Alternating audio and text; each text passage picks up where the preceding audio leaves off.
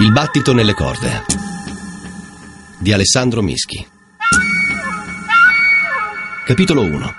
Dai campi da tennis ai campi di concentramento.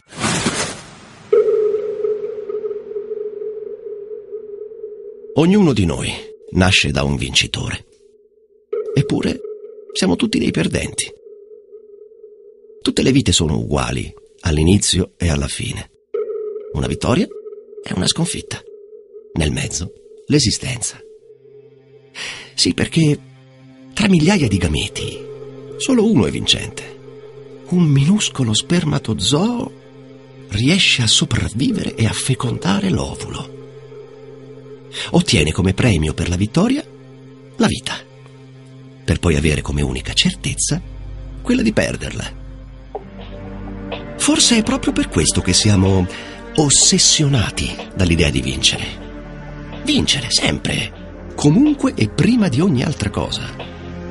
Vincere la guerra, vincere le Olimpiadi, vincere un titolo, vincere una corsa. Vuole vincere il podestà come l'arrotino. Vogliamo vincere una donna, che sia dalle parti del cuore o della gloria, del portafoglio o del terreno. Vorremmo sempre vincere, per dimenticare che il nostro destino è quello di una sconfitta. La morte non si vince. Soltanto uno ci è riuscito, ma era il figlio di Dio. Ogni mattina questo stesso pensiero mi percuote, come lo stock, il rumore secco di una racchetta mentre colpisce una pallina. Tutte le mattine con quel rumore nei timpani e quel pensiero. Siamo tutti condannati a morire. Eppure, l'umanità si scanna con le guerre per accelerarne la riuscita. Quando si alza il sole sul cielo di Chemnitz, quel pensiero di morte non fa che percuotermi, come un infarto acustico. Forse perché anche l'aurora fa schifo qui in Sassonia. Un sole lattiginoso che non scalda, una luce anemica su persone ormai trasparenti. Io peso meno di 50 kg e quando vado a dormire non riesco a trovare la posizione perché non c'è carne tra le ossa delle spalle e il legno del giaciglio. Di 400 militari italiani siamo rimasti in vita la metà e ogni giorno che passa ne cascano a terra non so quanti. Come un tabellone di un torneo di tennis. Ogni giorno ne restano in gara la metà. Eliminazione diretta. Solo che qui alla fine non si vince niente. Si è certi soltanto di perdere. Si rimane in un campo, non da tennis ma di concentramento, unicamente per assistere alla propria sconfitta. Ecco il mio nuovo circolo, il Concentrament Lager. Solo che qui non ci sono i campi in erba o in terra rossa, ma capannoni ricoperti di melma sanguigna. Si va nelle gallerie come topi, lungo i canali delle fogne, e ai piedi si calzano non le scarpe morbide di tela, ma zoccoli grossi e pesanti che ti martirizzano. I vestiti non sono le magliette immacolate, ma rimasugli di indumenti stracciati, impregnati di unto e carichi di polvere di ghisa che ti raschiano la pelle a ogni passo, fino ad arrivare all'anima. Già, non c'è più carne intorno agli scheletri. Gli uomini sono figure irreali, ombre tremolanti, sagome, fosche e silenziose. Ecco i miei compagni di circolo. Tante anime in attesa di trapassare nel regno dei morti. Qui si gioca ad assistere alla propria sconfitta, qui si gioca a procrastinare, a temporeggiare, a rimandare quello che il destino ha scelto per te, diventare in breve materia organica che finirà per imputridire. Beh, io da giocatore ero maestro nel ritardare la mia sconfitta. Quando in un torneo di tennis ero sotto nel punteggio, mi mettevo da fondo campo a rimandare tutto ciò che potevo. E in quelle risse di terra rossa, sudore e polvere, quante rimonte ho fatto, quante partite ho vinto, che incontri, indelebili ricordi di lotte e vittorie. Il corpo proteso in allungo, la pallina che sta per ritoccare terra e invece no, te la rimando ancora di là, brutta carogna. Non mollare, Patrizio, non mollare mai, mi ripetevo a ogni colpo. e a ogni stock della palla scandivo il tempo. Un altro stock. Dai, forza! Sono ancora vivo. Perché ogni partita per me era questione di vita o di morte. Se perdi, il tuo nome verrà cancellato dal tabellone. Equivale a morire, no?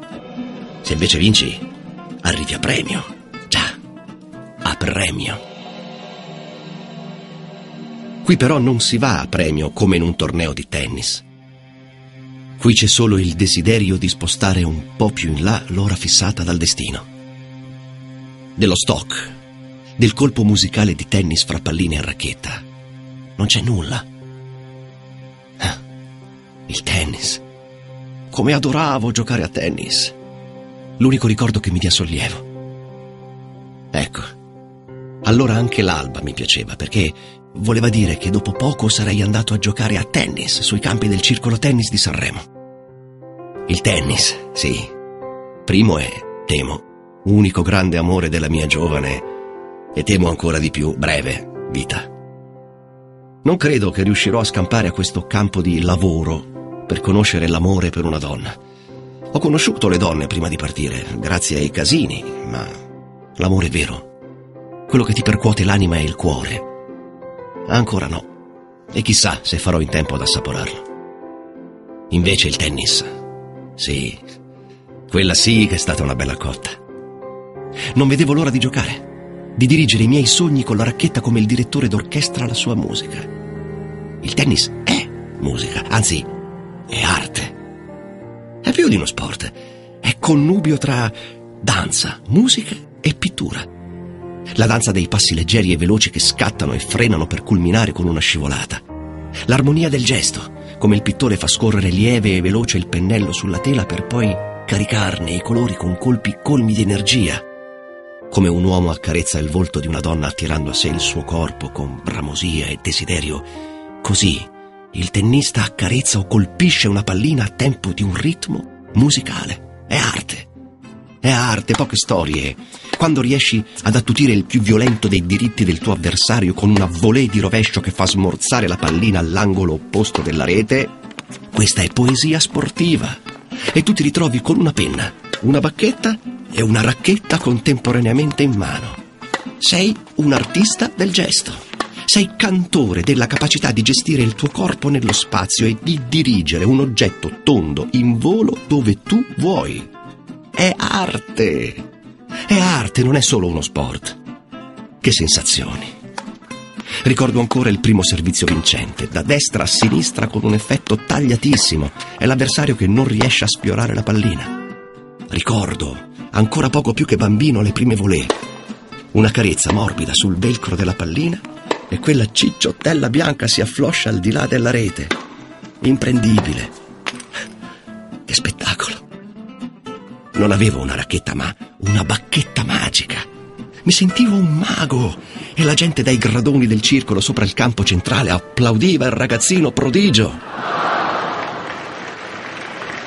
Già, il prodigio. Invece qui si sta alla fresa e al trapano tutto il giorno. Dalle 6 alle 18 e a pranzo Zuppa di verdure, zuppa di ortiche, pane raffermo e scariche di dissenteria che ti uccidono. Altro che magia, che prodigio. Piattole e topi dappertutto. Molti i topi se li mangiano, ma io non ce la faccio proprio. Di solito, dopo aver finito quel poco di burro che ci danno, uso la carta a mo' di brillantina. Me la passo sui capelli per tirarmeli indietro ma una notte mi sono svegliato con un topo che mi leccava i capelli. Quando l'ho raccontato a quelli del mio Stalag, il 4B, qualcuno si è anche arrabbiato. Potevi prenderlo, che ce lo saremmo mangiato, coglione! Mi ha urlato un veneto. No, no, no. No, no, i topi no. Almeno non ancora. Va bene bere dell'urina, come è accaduto durante il viaggio per arrivare a questo campo di lavoro, ma i topi... Non ce la faccio ora, magari più avanti, quando quando la mia amica fame mi avrà privato di tutto ciò che di umano ancora mi rimane. E io e lei siamo grandi amici e mi tiene sempre compagnia. Quella grande baldracca va con tutti, però non ti abbandona mai.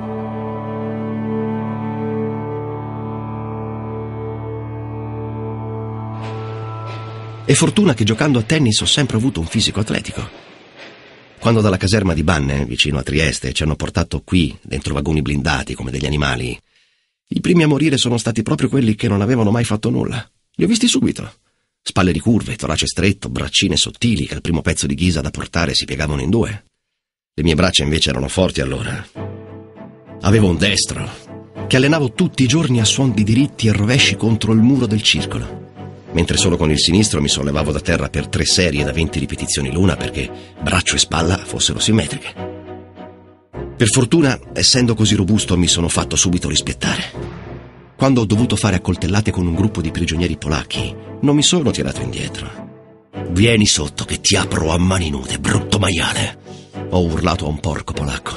Grosso il doppio, ma flaccido, lento di braccia. Gli ho dato due colpi in testa con il mulinello del braccio così veloce che se avessi avuto una racchetta in mano avrei fatto un servizio vincente. Il servizio l'ho fatto a quel porco. Una gragnola di fendenti che se non mi avessero fermato lo avrei ridotto come una tagliata di manzo. E me la sarei mangiata volentieri. Il topo no, ma la carne di porco polacco l'avrei assaggiata volentieri perché se per il conte Ugolino più che l'onor poté il digiuno e si è sbaffato i suoi figli, io una fetta di porco polacco avrei potuto mangiarla a cuor leggero. Oltretutto non l'avevo mai visto prima e da subito ci siamo stati sull'anima. Comunque l'ho battuto. Ho vinto io. E così sono riuscito a prendermi io il premio. Un sacchetto di bucce di patate. Che tristezza, che rabbia, che pena. Fare accoltellate per un sacchetto di bucce di patate. La fame ti tocca nel profondo dell'essere ed è così abbruttente che chi non l'abbia mai provata non lo può nemmeno immaginare. E ora, che sono passato dai campi da tennis ai campi di concentramento, tutta la rabbia agonistica che avevo nel giocare mi aiuta a sopravvivere. Anche qualche buccia di patata può allungare la mia presenza in questo torneo della vita a eliminazione diretta.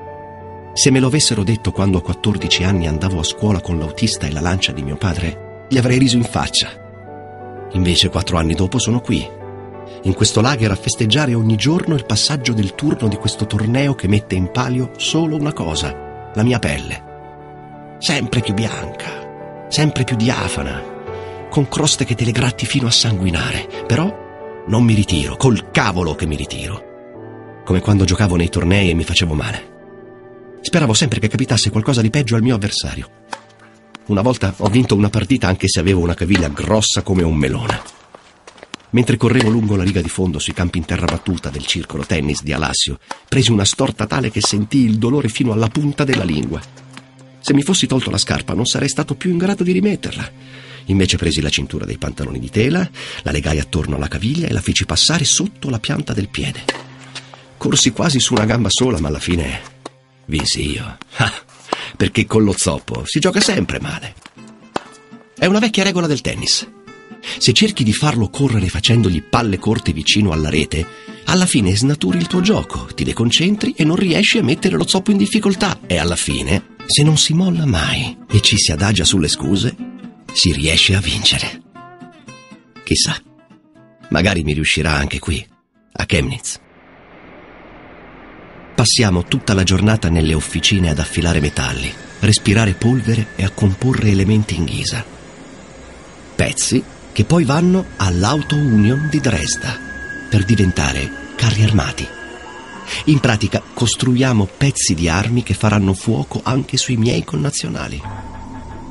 Grazie al lavoro dei prigionieri, la fabbrica di Dresda di carri armati ha raddoppiato la produzione, dicono. Il nostro lavoro fa macellare altre persone, altri italiani. L'esatto contrario del motivo per cui abbandonai i campi da tennis e partii volontario per la guerra nel 1943.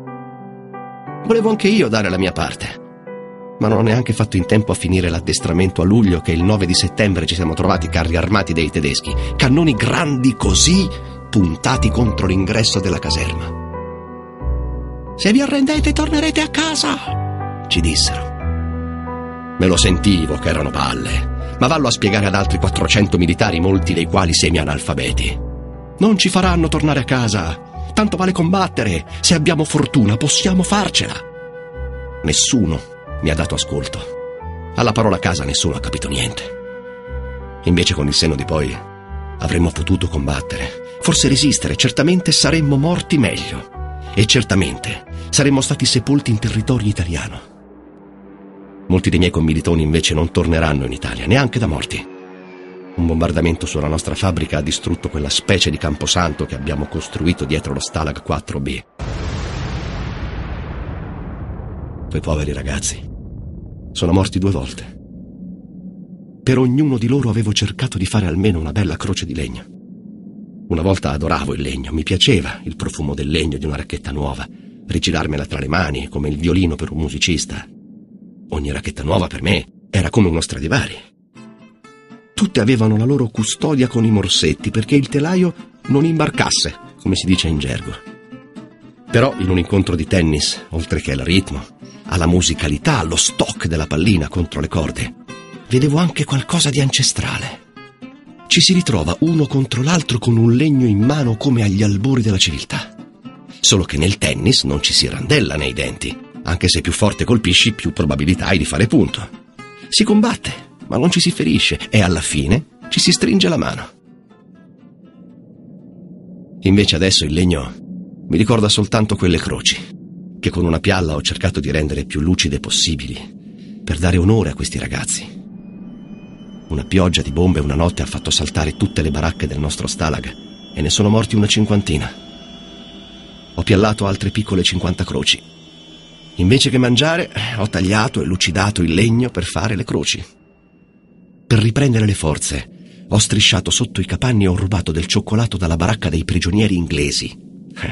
Lì sì che arrivano i pacchi della Croce Rossa. Da noi italiani, invece, nessuno ha ricevuto niente. La cioccolata l'ho dovuta mangiare di nascosto mentre ho smerigliato le croci.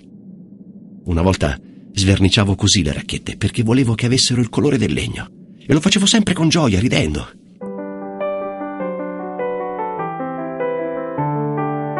Andavo a trovare a Bussana Vecchia Giovanni il poeta. Bussana è un paesino alle porte di Sanremo, sulle colline, e con un panorama mozzafiato. Un terremoto alla fine del Settecento lo ha parzialmente distrutto. Morirono quasi in 200, i sopravvissuti lasciarono il paese e da allora fu disabitato. Poi alcuni artisti, scrittori, oppositori del regime, hanno cominciato a viverci. Una sorta di confino volontario. Però credo che loro ci stessero bene e io con Giovanni mi trovavo proprio bene. Non si parlava mai di politica. Giovanni sapeva che mio padre era una camicia nera, ma lo rispettava. Per mio padre la patria era tutto, poi a pari grado c'erano la famiglia, il senso del dovere, la fede in Dio. Giovanni rispettava tutto questo, anche se lui voleva sentirsi sempre un uomo libero. Faceva il falegname, ma vendeva anche i suoi versi. Bellissimi. Li firmava E a fronte. E io non ho mai saputo per che cosa stesse quel E a. Però era un uomo che mi dava tranquillità. Scriveva poesie bellissime e intarsiava il legno. Da lui ho imparato a conoscerne le venature, a lucidare, laccare e piallare il legno, perché le mie racchette dovevano essere le più belle, le più lucide. Ridevamo, chiacchieravamo e io ero felice. Fu a Giovanni che dissi subito la mia intenzione di partire volontario. Prima a lui che ai miei genitori. E Giovanni mi regalò una racchetta bellissima, una maxima, in legno personalizzata con il tricolore che gli si attorciglia lungo il fusto. Un gesto gentile da parte di un anarcoide come lui. Quando tornerai ti farà vincere qualcosa di importante, mi disse. Chissà se sarà vero. Chissà che fine ha fatto Giovanni, chissà se ci rivedremo. Con erba, gesso e sangue ho fatto delle tacche tricolori per quelle croci. Il sangue me lo sono tolto scrostandomi una ferita nel piede. Un male cane, ma sono riuscito a non urlare. E quelle croci le ho lucidate senza neanche riuscire a tirar fuori una lacrima. Amo troppo la vita, ma non ho più traccia dei miei sentimenti. O quantomeno non riesco più a piangere. Neanche quando ci frustano e la pelle della schiena resta attaccata ai frustini. Urlo, ma non piango neanche quando l'altro giorno mi hanno battuto come un polpo sul battilardo nel mercato del pesce di Sanremo. Non avevo risposto all'appello e nel campo si era sparso il panico. Pensavano che uno dei prigionieri fosse fuggito. Non sono stato molto sveglio all'appello, ma ci voleva anche un po' di immaginazione a riuscire a capire che un Uert, tutto aspirato e urlato, corrispondeva al mio nome e cognome, Patrizio degli Uberti. Il degli non lo hanno letto, così come il nome, e Uberti era scritto così male che la B sembrava un H. Quando hanno chiesto a ognuno di noi di scandire il nostro nome e cognome è stato subito svelato il mistero e contemporaneamente un cazzotto mi ha sollevato da terra. Me ne hanno date tante con lo scudiscio quei capò maledetti. Ma almeno ora non si sbagliano a scandire il mio cognome. È già una piccola soddisfazione, oltre a quella di non avere pianto. Mentre mi colpivano, per 25 volte, con il bastone, non volevano neanche che li guardassi negli occhi. E invece io ho continuato a guardarli. Non guardare mai negli occhi il pubblico ti crea conflitto e ti distrae, diceva il mio maestro prima di scendere in campo per ogni incontro di torneo. È vero. Quando si cambiava campo io guardavo sempre in giro. Cercavo negli sguardi degli altri qualcuno che mi dicesse con gli occhi Dai, puoi farcela. Però mi distraevo troppo. Invece quando ho smesso di guardare in giro e su in tribuna, e cercavo soprattutto una biondina che mi piaceva tanto e che un po' mi filava, Ero più concentrato, ma il mio avversario lo guardavo sempre negli occhi. Volevo gelargli il sangue. Ti faccio male ora, gli dicevo con gli occhi. Ora che il male invece lo fanno a me, ste carogne le guardo lo stesso negli occhi. Vorrei che fosse uno spillo nelle loro pupille, una piccola fitta nel cervello per dire loro guarda che razza di schifo di essere umano che sei. Non hai niente di umano, solo una frusta ti consente di esercitare prepotenza. Alcuni quando ti menano magari si fermano un attimo. Forse la fitta gli è arrivata. Brutte carogne schifose. Sono i più indulgenti. Altri invece si irritano, ma io li gelo con lo sguardo lo stesso. Non voglio abbassare gli occhi. La resa è il miglior servizio che si fa al vincitore e io non voglio arrendermi. Non l'ho mai fatto. Devo avere un motivo per reggermi in piedi. Devo avere qualcuno da odiare. È come quando giocavo meglio contro gli sbruffoni. Così, ora resisto di più con i carnefici. Perché oltre alla mia cara amica fame, quella gran troia che va con tutti, ho un'altra amica che invece sta solo con me la mia amica Rappia. Lei sì che è buona. Mi riempie lo stomaco, mi fa rialzare in piedi quando ci frustano, mi aiuta e mi accompagna nei giorni difficili. E soprattutto non mi fa mai mancare il pensiero che più allevia le mie ferite. Mi fa sopravvivere fra lo sterco del bugliolo ed i pidocchi dei giacigli fatti di paglia e segatura. Prima o poi ve la farò